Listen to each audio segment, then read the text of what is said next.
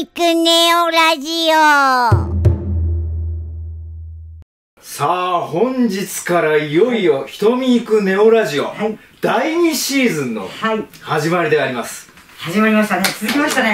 ありがとうございます。はいありがとうございます。これからも頑張っていきたいと思います。よろしくお願いします、MC を務めます平谷翔司と申します。同じく MC のひとみくです。こんばんにちは第2シーズンですよ。始まりましたね、うん。始まっちゃいましたね。そうですね。なんか第2シーズンからちょっと趣向を変えてとかいろんな話もあるみたいな。んかね今まではそのなんていうかお話を聞いて、はい。でまあその方の人となりとかをちょっはいとお聞きした感じだったんですけども、はい。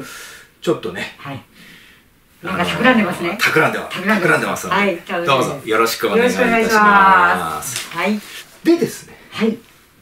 今までそういえばメンバーでね出ていない重いらっし要人物ゃらない方。がいます。はい。いますね。ワンシーズンでぜひ。あれ？と思った方が いないんじゃないの？それで第2シーズンのトップなんじゃないですか、もしかして。そうですね。というわけで、はい。第2シーズンのトップのゲストをお呼びしたいと思います、心待ちにしておりました、はい、今回のゲスト「ひとみいくプロジェクト」でギタリストそしてバックボーカルを担当してくれました、えー、ヤンズこと山本秀文さんです。えーやったー 何も考えてなかった。どうも。どうもよろしくお願いします。お願いします。いや第1シーズンでヤンちゃんが忙しくて やっと来てくれてそう番組に来れなかったんでちょっと。あもう第2シーズンなんですよ、これ。あ第2シーズンです。りがとうございます。そう第2シーズンからはギター持っていいことになったんで。そうです。うん、なんか弾いちゃってもらっても。俺も。ででれででれでれ。説明しないと分かんない。あそうですね。暗くなるまで待ってのでございます。懐かしいですね。本当に。はい。でもこれ懐かしい感じなんですよここの2人は。そうそうそうそう。もね昔近いものやってましたからね二人でね。こんな感じで。ラジオでごめん、水曜日始まります。そうそうそうそう。あのやんちゃんともう毎週ね名古屋に。行ってたね。なんかシウマイ弁当とか食べながらそうシウマイ弁当。新横浜行って、シウマイ弁当買って乗るってまあ、あの、あの頃ってデビューして間もないよ。そうそうそういきなりテレビで。無理無理無理無理。もう全部 MC やってもらって、ずっとずっと ずってニコニコニコニコしてるんですけど。メーカーさんはね違ったんですけどもねやっぱりメーカーさんは違ってこっちはソニーでうちはビクターだったんですけど、やっぱり男連中がねやっぱりその同じ事務所っていうのもあってやっぱり近くに住んでいて近くっていうかほとんど同じですか？同じところに住んでいたあー桜木町ねうんそれもあってまあ随分ねヤンズさんと、まあ、ダブさんとは仲良くさせていただきましたハンナも。ということで、えー、ヤンズのプロフィールを紹介させていただこうと思います。間違ってたら言ってね。はい、ヤンズこと、えー山本秀文さん広島県出身であります、まあ、さっきも名前が出てきましたけどバンドダブのベースボーカルとして、えー1987年 CBS ソニーオーディションでグランプリを受賞、えー1989年の6月ファーストアルバム「ダブにて CBS ソニーよりデビューされました。えーアルバム3枚シングル1枚をリリースして92年に解散してしまう、うん。でまあその後アーティストのサポートとしてまあそのプレイヤーとして、えーフェイストゥエイズ、えーエンドレス学ぶ宮原ザ・ダブルクラッシュなどで活躍されましたでえーっと僕も行かせてもらったんですけど、えー、一昨年、一昨年の5月にダブが一夜限りね再結成すごい。いやー懐かしくてね。同窓会みたいですよ。あのあの頃のスタッフのか人たちとかもいっぱい来ててそうん懐かしかったわというわけでダブの山本秀文さん。ヤンズですいまだに我々の周りでもダブのファンが多くて、いやダブ好きだったなってまあすごいバンドで今多分流れてると思いますけど。いや今回ねいいですか？あの私やっぱりあの、まあ、ハンナ解散してソロもやってあとまあね輪っかミュージックって仕事もやりながらでで、まあ、その時もやんちゃんにお願いしていろいろとね助けてもらったんですけど。しましたね。で一回ねもう一回歌ってみようかなと思った時にやっぱりあんちゃんのギターとあと声ね。が絶対必要だと思って、うんうんうん。やっぱりそこで無茶ぶりで「やんちゃんちょっとやってくんない?」って言ってそれがもういわゆるヒトミックプロジェクト、初め作る時もそうですけど。最初でもらった時に ギターみたいな。そう。さっきベベースボーカルでデビューみたいなね。そう。まあでもベーシストなんですよねもともとギタなんですけど、ね、多分なってベースボーカルだったんですけど、はいやっぱギターもそうですけどね一緒に歌ってみたくて。確かに。ヤンズの声がすごい好き。だから一回も歌ったことないんだよねそういうのね。僕のあるあのダブのアルバムで一人じゃないコーラス1曲だけやってる。んであそう。それは俺た「暮らしの太陽」っていう曲。でああそうだ。あーそういうんだったらうちのメロディーっていう曲も「あーあーあー」ってやったそうかやってんじゃんやってんだ花ズダブで。嘘ばっかり。嘘ばっかりよ。嘘ばっかり。失礼いたしました。からどちらにしてもねもう一回やるんだったらヤンズがいてほしいなっていうのもあって、まあ無茶ぶりに近い形でしたけど、いや本当に来てくれてありがたくていやいやコンシンシア本当楽しかったですよレコーディング。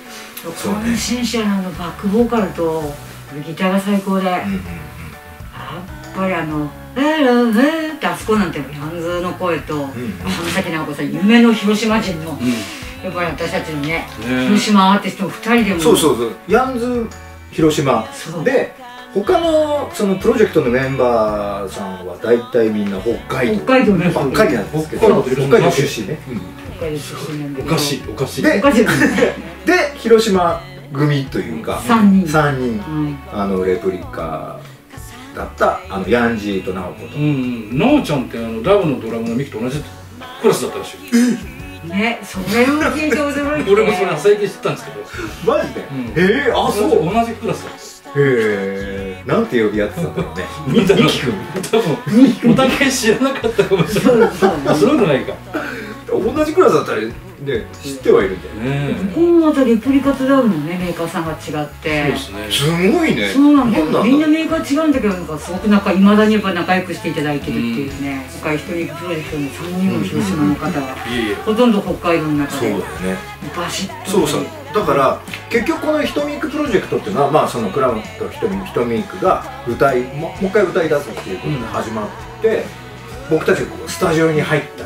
ねあの頃コンシェンシャもちょっといろいろアプローチしたりとか。だからその中にいたのがそれこそヤンジーと,、えー、と直子と、ヤンズでヤンズがいて広島さんに組んで。広島さんに。で俺と陽子ちゃん北海道組みたいな感じでスタジオ入ってたんだよね。みんなだ。からなぜかわからないけど 札幌と広島は縁があるねって言ってね。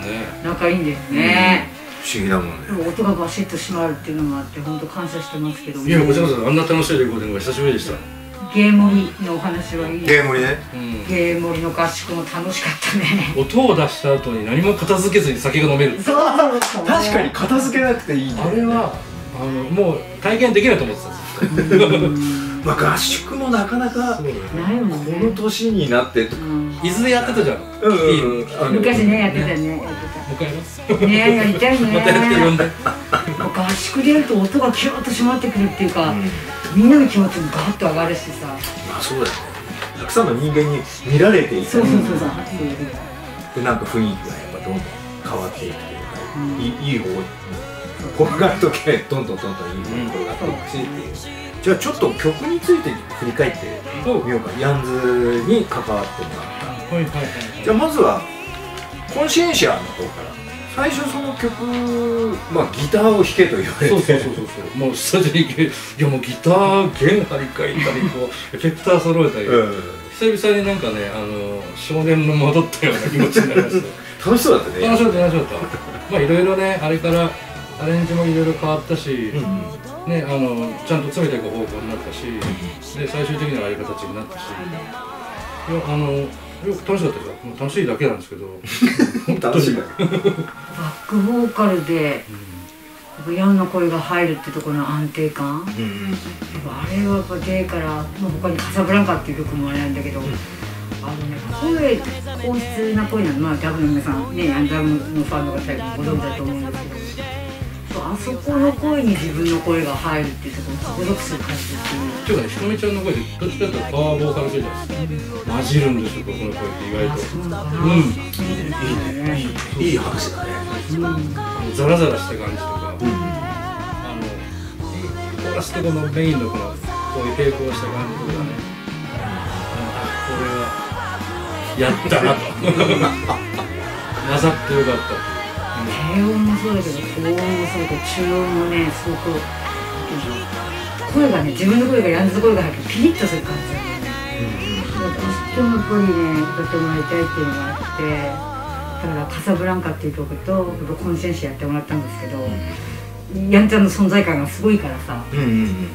あの幸せでしたやっぱ一緒に歌ってみたいっていうのがあったのでねそれは本当に楽しかったな。うんでえっ、と有明の月を見ている、うメインですね。見ている方、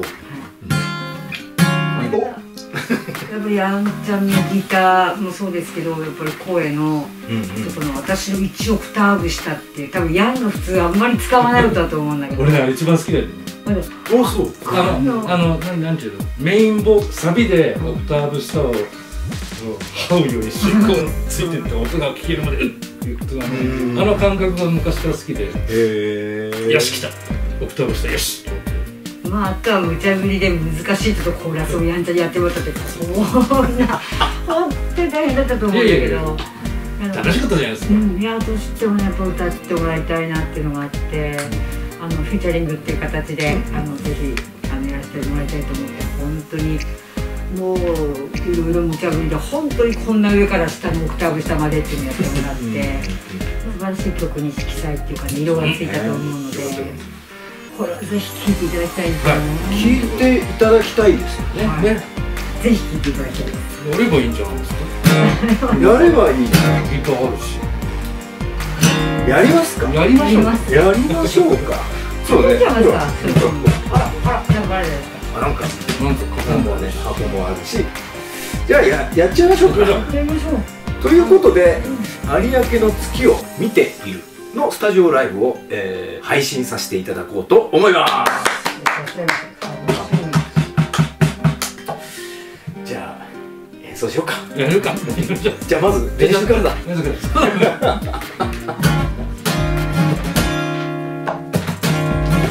オッケーというわけで本日もあっという間に エンディングを迎えてしまうわけなんですけどもん。やず最後に何か？あそうですか。